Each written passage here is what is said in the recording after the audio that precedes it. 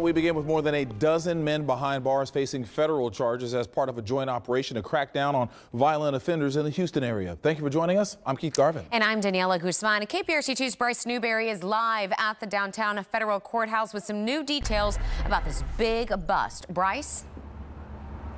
Keith and Daniela, we've learned tonight from the FBI that more than 200 personnel, tactical teams from all across the state, came in and surrounded the homes of these 14 accused criminals, arresting them at 6 o'clock in the morning.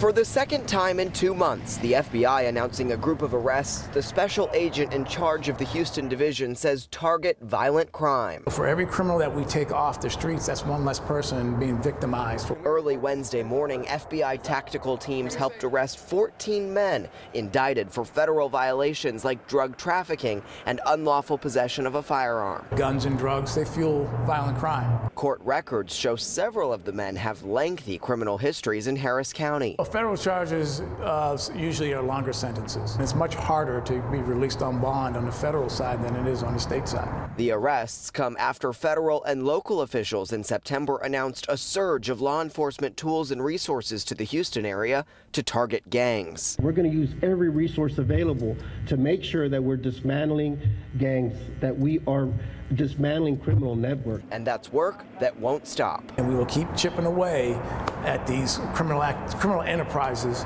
and uh, to reduce the crime in the Houston area. That's our job.